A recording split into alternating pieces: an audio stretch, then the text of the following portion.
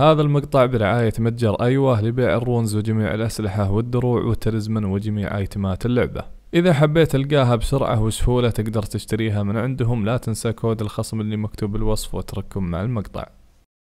السلام عليك حياك الله عزيزي المشاهد في مقطع جديد من لعبة Elden Ring ويا مرحبا بك مليون إذا كنت من المشتركين الجدد شرح تقريبا قرابة عشرين مقطع بعيدا عن ال glitch ات ونصايح وغيرها و quest ات. يا أهل ال glitch ات لكم وحشة والله. قبل لا نبدأ بال bosses راح أعطيكم هذه الطريقة وشكرا للي نبهني عليها في ال comment. لأني يوم نزلت المقطع قلت هذه الطريقة ما تنعاد حرفيا والله ما كنت أعرف. ولكن ال glitch هنا يا إخوان أنكم مجرد ما تقتلون التنين كل عليكم تسوونه على السريع.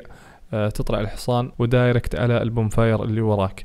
إذا وصلت بسرعة في هذاك المكان راح ترجع أو تقوم من ال bonfire وتشوفه موجود مرة ثانية. وكذا هذه طريقة farm جدا قوية ولا تنسون تستخدمون ال gold scarab ورجل الدجاجة. خلونا نبدأ بالرادان رادان يا إخوان أنا نزلت له طريقتين. فنصيحتي إذا كنت جديد على اللعبة إنك تجرب حظك كذا مرة معاه لأن ضعفوه أصلا من بعد التحديث الواحد فاصل صفر ثلاثة. غير كذا أنا نزلت مقطع خاص عنه شرحت فيه له قلادات تجيبها تساعدك في قتله وغيرها من الأمور يعني بعيد عن ال glitch. وإذا كنت مصمم على ال glitch يمديك تركض من هذا الاتجاه بس آه لا تخلي رادان يعني جدا بعيد. لازم إنه يكون قريب منك بحيث آه يضبط الجلتش هذا معاك. في صخرة الصخرة الوحيدة من بين الصخور تقريبا اللي يمديك تطلع فوقها. ممكن تحصل علامات أو كتابات اللاعبين الثانيين بحيث إنهم حاطين لك زي البن يرشدونك على غصن الشجرة هذه.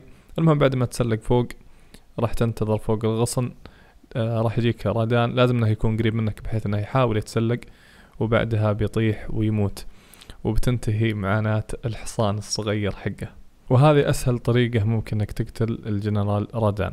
ونيجي لل boss اللي بعده اللي هو ال Godskin Noble. هذا كل اللي عليك تسويه إنك تدخل أول مرة. المرة الثانية يا إخوان كل اللي عليك تسويه إنك قبل المنطقة الضبابية تجي تهدي تعطيها خطوة كذا بشويش خطوة بشويش لين ما يبين عندك اللي هو ال option إنك تضغط وتدخل عند ال boss. فضروري جدا إنكم تلقطون أبعد نقطة تقدر آه، تضغط فيها المثلث أو يطلع لك الخيار إنه يدخلك عند ال boss. عشان تعرف إنك سويت الطريقة صح مجرد ما تدخل عند ال boss راح تحصل نفسك ناشب في هذا المكان. كل اللي عليك تسويه إنك تسوي roll أكثر من مرة أو تضرب بسلاحك لين ما يفك معك ال glitch وتدخل آه تقتل ال boss. طبعا دائما ال bosses يا إخوان اللي ناشبين كذا عالقين دائما يفضل إنك تخلي عشر ثواني ما تضربهم ورا بعض بحيث إنه ما يفتك ال glitch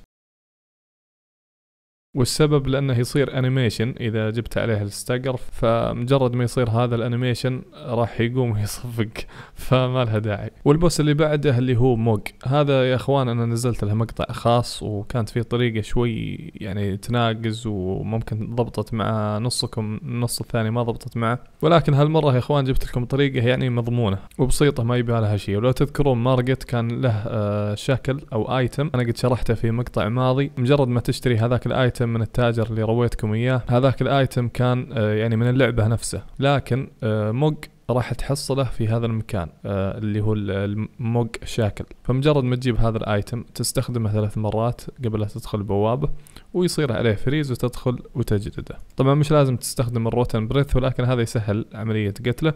تقدر تستخدم أي سلاح فيه ولكن أذكر أنه لو استخدمتوا أي سلاح عادي لا تضربونه بشكل سريع. يعني أعطه عشر ثواني كذا بعد كل خمس ضربات أو أنت بتعرفها. وهذا بس عشان لا يقوم ومثل ما قلت طبعا أنصحكم يا إخوانكم تستخدمون ال Gold Scarab ورجل الدجاجة اللي شرحتهم في هذا المقطع بسهولة تجيبونهم لأنه راح يضاعف ال runes اللي خصوصا هذا ال boss راح يجيك منه مبلغ وقدره. وبس يا شباب لا تنسون ال like أشكر منتسبين القناة هنتر بندر مشاري ونشوفكم إن شاء الله على خير في مقاطع جاي والسلام عليكم ورحمة الله وبركاته.